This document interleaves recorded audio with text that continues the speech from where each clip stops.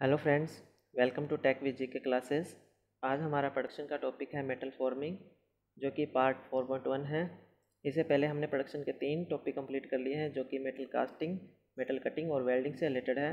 अगर वो वीडियोस आपने नहीं देखे तो उनका लिंक आपको डिस्क्रिप्शन में मिल जाएगा, वहाँ पे जाके आप दे सकते हो।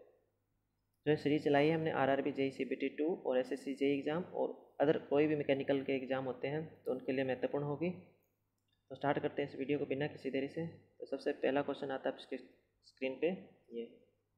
तो इसमें पूछा है considering the following stresses stresses number one दिए टेंसाइल स्ट्रेस सेकंड नंबर पे दिए कंप्रेसिव स्ट्रेस और थर्ड नंबर पे दिए स्टीयर स्ट्रेस तो पूछा है in forming processes metal are subjected to जैसा कि आप देख पा रहे हो ये हमारा एक फॉर्मिंग प्रोसेस है। तो इसमें पूछा है, कौन सी कौन सी स्ट्रेस जनरेट होती है जब हमारा फॉर्मिंग प्रोसेस होता है? तो इसका ऑप्शन नंबर डी राइट हो जाएगा।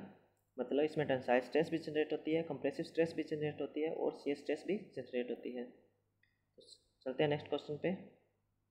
तो नेक्स्ट क्वेश्चन हमारा है सीट मेटल ऑपरेशन आर तो पूछा जो सीट मेटल ऑपरेशन है तो ये क्या होते हैं? क्या ये हॉट वर्किंग ऑपरेशन होता है या कोल्ड वर्किंग ऑपरेशन होता है या वार्म वर्किंग ऑपरेशन होता है?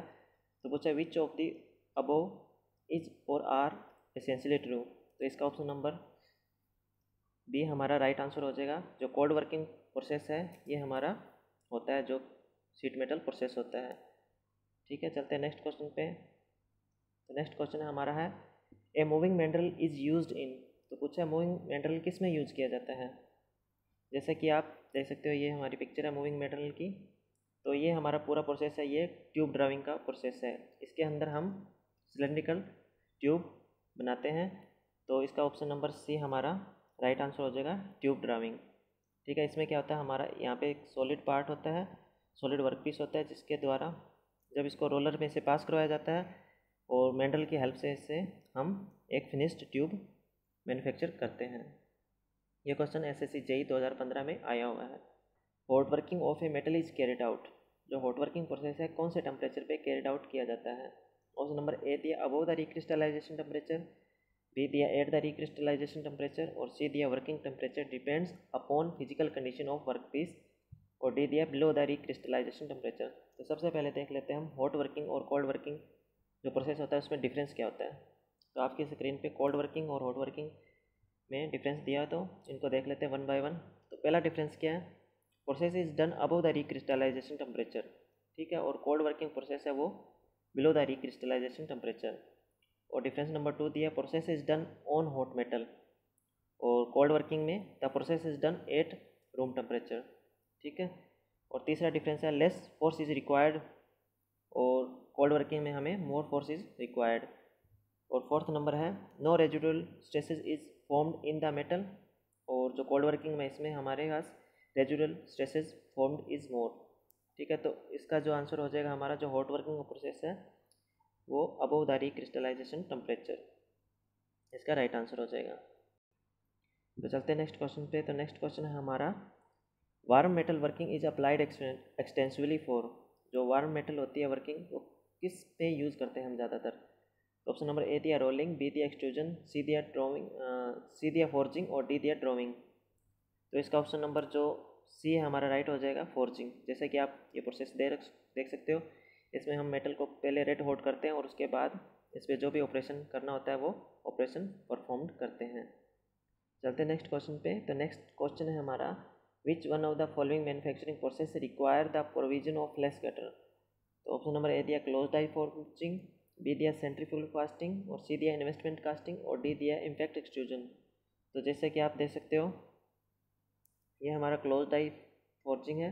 इसके अंदर हम क्या करते हैं? फ्लश गटर का प्रोविज़न रखते हैं। क्यों रखते हैं? क्योंकि जब हम इस मेटल इसमें मेटल को कंप्रेस करते हैं तो इसमें जो एक्स्ट्रा मेटल होता है, वो रिमूव होकर इस फ्लश गटर में आ जाता है और हमारी डाई है वो कम्प्लीटली क्लोज हो पाती है। तो इसका ऑप्शन नंबर ए हमारा राइट आंसर हो जाएगा। क्लोज डाई फोर्जिंग में हम फ्लश गटर का प्रोविज़न रखते हैं। चलते हैं नेक्स्ट क्वेश्चन पे। तो नेक्स्ट क्वेश्चन है हमारा blanking and piercing operation can be performed simultaneously in जो ब्लैंकिंग एंड पिरेशिंग ऑपरेशन है वो एक साथ किसमें परफॉर्म किया जाता है? तो ऑप्शन नंबर ए है सिंपल डाई बी दिया कंपाउंड डाई और सी दिया प्रोग्रेसिव डाई और डी दिया कॉम्बिनेशन डाई तो इसमें मैं आपको बता देता हूँ कंसेप्ट इसमें क्या होता है? जैसे ब्लैंकिंग और पेसिंग दोनों हमारे क्या है? कटिंग ऑपरेशन है, ठीक है? मतलब ये सेम सेम ऑपरेशन है. तो जो सेम सेम ऑपरेशन करते हैं तो वो हम करते हैं कंपाउंड डाई में, ठीक है? तो ऑप्शन नंबर बी इसका राइट आंसर हो जाएगा. अगर हमारा एक कटिंग ऑपरेशन हो और दूसरा कोई फॉर्मिंग ऑपरेशन हो तो उसके लिए हम यूज़ करते हैं कॉम्बिनेशन डाई ठीक है? तो चलते हैं नेक्स्ट क्वेश्चन पे। तो नेक्स्ट क्वेश्चन हमारा blanking and drawing operation can be performed at one station of a press in the stroke of the ram in a तो इसका आंसर क्या हो जाएगा? जैसे देख सकते हो, जो ब्लैंकिंग है, हमारा कटिंग ऑपरेशन है और ड्राइंग हमारा फॉर्मिंग ऑपरेशन है। तो इसके लिए हम यूज़ करेंगे कॉम्बिनेशन डाई तो ऑप्शन नंबर सी इसका हमारा राइट आंसर हो जाएगा। चलते हैं नेक्स्ट क्वेश्चन पे। तो नेक्स्ट क्वेश्चन पूछा है टू और more cutting operation are performed at one station of the press in every stroke of the ram in a तो इसका आंसर मैंने बता दिया था। जैसे कि इसमें कटिंग और मतलब दोनों में क्या हो रहा है? कटिंग ऑपरेशन हो रहा है। मतलब टू और मोर कटिंग ऑपरेशन एक साथ किसमें परफॉर्म करते हैं? कंपाउंड डाई में। ठीक है ऑप्शन नंबर सी इसका राइट आंसर हो जाएगा। चलते हैं नेक्स्ट क्वेश्चन पे। तो नेक्स्ट क्वेश्चन है in which of the following process a small diameter thick ring expanded into a large diameter thinner ring by replacing the ring between two rolls तो इसका option number सी हमारा right हो जाएगा ring rolling जैसे कि आप ये देख सकते हो, ये हमारा रिंग रोलिंग का प्रोसेस है। इसमें हम डायमीटर को इंक्रीज़ करते हैं और इसकी जो थिकनेस होती है उसको रिड्यूस करते हैं। चलते हैं नेक्स्ट क्वेश्चन पे। तो नेक्स्ट क्वेश्चन हमारा the forging of the steel specimen is normally done at a temperature of तो फोर्जिंग है वो किस टेम्परेचर पे डन की जाती है? तो वो की जाती है तो ये की जाती है ग्यारह सौ डिग्री सेल्सियस पे, ठीक है? तो इसका राइट आंसर हो जाएगा हमारा बी चलते हैं नेक्स्ट क्वेश्चन पे। तो नेक्स्ट क्वेश्चन है हमारा dies for wire driving are made of जो वायर ड्राइविंग प्रोसेस होता है, उसमें जो डाइस बनी होती है किसकी बनी होती है? तो इसका ऑप्शन नंबर सी हमारा राइट आंसर हो जाएगा कार्बाइड्स जैसे कि आप देख सकते हो, ये हमारा पूरा वायर ड्राइविंग का प्रोसेस है। इसके अंदर हम एक एक साइड में क्या करते हैं? टेंसाइल स्ट्रेस लगाते हैं। और जब हमारी ये वायर डाई में से पास होती है तो उसका डाई होता है वो रिड्यूज़ हो जाता है। तो ये पूछा, डाई ये हमारी किसकी बनी होती है? तो ये कार्बाइड की बनी होती है। ये इसका सेक्शनल व्यू है और जो डाई होती है हमारी इस तरह से राउंड शेप की होती है। चलते हैं नेक्स्ट क्वेश्चन पे। नेक्स्ट क्वेश्चन है the process use for relieving the internal stresses previously setup in the metal for increasing the machinability of the steel is जो स्ट्रेस वगैरह जनरेट हो जाती है तो उनकी इंटरनल स्ट्रेस को रिमूव करने के लिए और मशीनेबिलिटी को इंक्रीज करने के लिए हम कौन सा प्रोसेस यूज़ करते हैं? या हम फुल एनिलिंग यूज़ करते हैं या नॉर्मलाइजिंग करते हैं या प्रोसेस एनिलिंग करते हैं या स्फेरोडाइजिंग करते हैं। तो इसका ऑप्शन नंबर सी हमारा राइट आंसर हो जाएगा प्रोसेस एनिलिंग प्रोसेस करते हैं जिससे हमारा मशीनेबिलिटी इंक्रीज हो जाती है और इंटरनल स्ट्रेसेस जो जनरेट होती है ड्यू टू वर्किंग प्रोसेस वो रिड्यूज हो जाती है। चलते हैं नेक्स्ट क्वेश्चन पे। तो नेक्स्ट क्वेश्चन पूछा है thick walled seamless tube is produced by तो जो थिक वाल्ड सीमलेस ट्यूब होती है तो उनको किस मेथड से प्रोड्यूस किया जाता है। तो इसका ऑप्शन नंबर बी हमारा राइट आंसर हो जाएगा। मान्य सम्मान प्रोसेस होता है, उसके द्वारा हम thick walled seamless tube produce करते हैं। सीमलेस का मतलब होता है, उसमें किसी प्रकार का हम वेल्डिंग या कोई अन्य प्रकार का जॉइंट नहीं लगाते हैं। तो जैसे दे, जैसे ये देख सकते हो, ये सीम सीमलेस पाइप मैन्युफैक्चर करने का प्रोसेस है। इसका नाम होता है मान्य समान प्रोसेस चलते हैं नेक्स्ट क्वेश्चन पे। तो नेक्स्ट क्वेश्चन हमारा है the recrystallization temperature is the temperature at which new strain free grains are formed from the earlier deformed ones और still this temperature is done close to तो इसका option number सी हमारा right answer हो जाएगा eight hundred degree Celsius पे हम जो steel है उसको कोट करते हैं, जिससे कि हमारे नए ग्रेन फॉर्म हो जाते हैं। चलते हैं नेक्स्ट क्वेश्चन पे। तो नेक्स्ट क्वेश्चन है a sheet metal is being cut along its length in a straight line such a cutting operation is called तो ऑप्शन नंबर ए दिया पार्टिंग बी दिया ट्रिमिंग सी दिया लांसिंग और D दिया स्लेटिंग slitting तो option number D इसका right answer हो जाएगा स्लीटिंग मतलब कहने का मतलब है जब ये शीट होती है इसको अलोंग द लेंथ काटते हैं तो उस प्रोसेस को क्या बोलते हैं? तो उसको बोलते हैं स्लीटिंग तो अन्य कौन से कौन से प्रोसेस होते हैं? मेटल फॉर मेटल कटिंग में? तो देखते हैं. तो सबसे पहला ऑपरेशन आता है हमारा पियर्सिंग पियर्सिंग क्या होता है? तो typically punching operation in which a cylindrical punch pierce a hole into the sheet जैसे कि आप इस पिक्चर में देख पा रहे होंगे, ये हमारी शीट है। तो इसके ऊपर हम क्या करते हैं, किसी सिलेंड्रिकल पंच से एक सिलेंड्रिकल होल जनरेट करने को प्रेशिंग बोलते हैं। और नंबर सेकंड पे दिया है स्लोटिंग तो a punching operation that forms rectangular hole ठीक है इन द सीट और अगर सर्कुलर होल ना प्रोड्यूस करके हम कोई भी रेक्टेंगुलर होल या कोई भी कॉन्ट्योर होल प्रोड्यूस करते हैं तो उसके लिए हम कर उस प्रोसेस को बोलते हैं स्लोटिंग देखते हैं नेक्स्ट कौन सा है।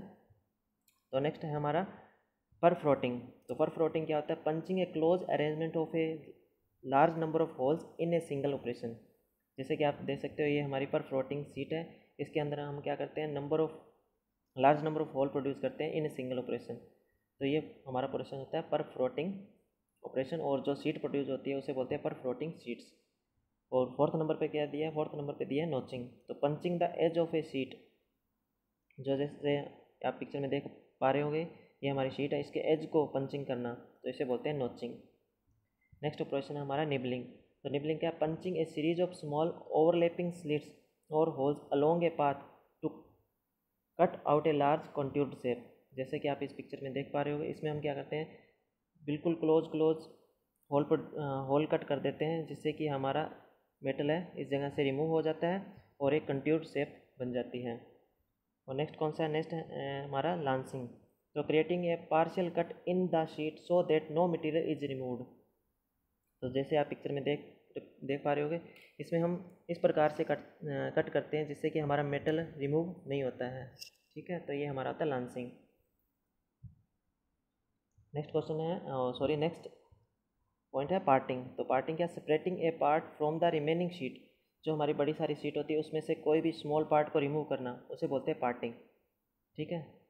चलते हैं नेक्स्ट चलते हैं नेक्स्ट क्वेश्चन पे तो नेक्स्ट क्वेश्चन हमारा the process of cutting flat sheet to the desired shape is known as तो इसका ऑप्शन नंबर ए हमारा राइट आंसर हो जाएगा. ब्लैंकिंग ब्लैंकिंग एक ऑपरेशन होता है, जिससे हम किसी भी फ्लैट शीट से कोई भी डिजायर्ड शेप प्रोड्यूस करते हैं। तो ब्लैंकिंग और फिनिशिंग में डिफरेंस क्या होता है, ये हम देख लेते हैं। तो यहाँ पे लिखा हुआ blanking blanking to cut the part parameter out of sheet metal. जैसे कि आप देख सकते हो, ये हमारे ब्लैंकिंग ऑपरेशन है। इसके हम, अंदर हमारा जो cut out part cut out part है, वो हमारा मेन पार्ट होगा और जो रिमेनिंग पार्ट है, वो हमारा स्क्रैप होगा। और पंचिंग में क्या है? पंचिंग या प्रेसिंग भी भी बोलते हैं इसको। तो पंचिंग या pressing to make holes in a sheet metal. जब हम किसी भी सीट मेटल में हम होल प्रोड्यूस करते हैं तो उसे बोलते हैं पेरसिंग या पंचिंग। तो इसमें क्या होता है, जो कट आउट पार्ट होता है, वो हमारा स्क्रैप बन जाता है। तो ये बिल्कुल जो ब्लैंकिंग है, उसका रिवर्स होता है। तो ये थे महत्वपूर्ण क्वेश्चन जो कि परीक्षा की दृष्टि से इंपॉर्टेंट्स हैं। और अगर आप इनको कर लेते हो तो आप परीक्षा में अच्छा स्कोर कर सकते हो। और अगर आपने हमारे चैनल को अभी तक सब्सक्राइब नहीं किया है तो आप सब्सक्राइब बटन पर दबा के सब्सक्राइब कर सकते हो और अपने फ्रेंड्स का शेयर कर सकते हो। अगर वीडियो अच्छी लगी हो तो इसको लाइक कर सकते हो। Thank you for watching and have a nice day